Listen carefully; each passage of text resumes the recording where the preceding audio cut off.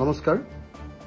আজি ৰাইজৰ দলৰ এটা বৃহৎ প্ৰতিনিধি দলে আমি শিল্পী আৰু অসমৰ সংগীত জগতৰ এজন প্ৰখ্যাত সংগীত পৰিচালক ৰমেন বৰুৱা ডাঙৰীয়াৰ ঘৰলৈ গৈছিলোঁ। ৰমেন দা সন্ধানহীন হৈ থকা আজি ছদিন পাৰ হৈ গ'ল। কিন্তু আজি ষষ্ঠ দিনাৰ দিনাও এতিয়ালৈকে ৰমেন দাৰ সন্ধান অসম চৰকাৰে উলিয়াব পৰা নাই।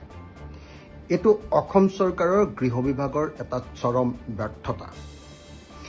ৰমেনদাৰ নিচিনা এজন জনপ্ৰিয় ৰমেনদাৰ নিচিনা এজন প্ৰথিতযশা ৰমেনদাৰ নিচিনা এটা যুগৰ ধ্বজাবাহী এজন শিল্পী যেতিয়া সন্ধানহীন হৈছে। তাৰ পাছতো এই অসম চৰকাৰখনে সেই শিল্পীজনক এতিয়ালৈকে বিচাৰি উলিয়াব নোৱাৰা ঘটনাটো দুৰ্ভাগ্যজনক। গুৱাহাটীৰ মাজমজিয়াৰ পৰা হেৰাইছে।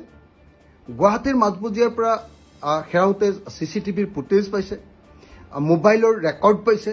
এই আটাইবিলাক পোৱাৰ পাছতো এজন শিল্পী অসমৰ স্বনামধন্য এজন শিল্পীক এতিয়ালৈকে পুলিচে বিচাৰি উলিয়াব নোৱাৰতো গৃহ বিভাগৰ চূড়ান্ত ক্ষমাহীৰ বাহিৰে আন একো নহয় এইটো দুৰ্ভাগ্যজনক কথা আৰু প্ৰত্যেকজন অসমীয়াই এই মুহূৰ্তত অসম চৰকাৰ আৰু গৃহ বিভাগ আৰু অসম পুলিচক নিন্দা কৰা উচিত।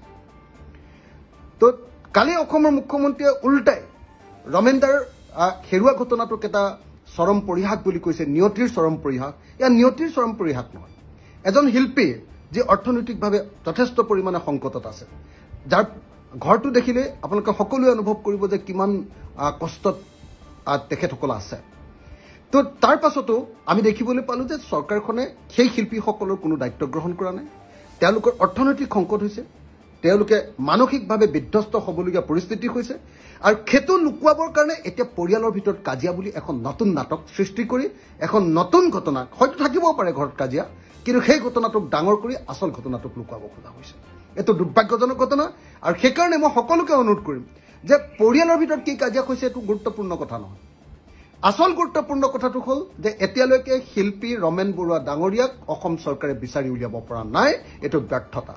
যদি নদীত তেখেতক সন্ধানহীন হৈছে নদীৰ পৰা বিচাৰি উলিয়াব লাগে। কিন্তু আজি মই চি পিৰ লগত পুলিচ কমিশ্যনাৰ দিগন্ত বৰা ডাঙৰীয়াৰ লগত যেতিয়া কথা পাতিলোঁ ক'লে যে নৰ্মেল অভিযানৰ বাহিৰে নদীখনত অন্য কোনো স্পেচিয়েল অভিযান চলি থকা নাই।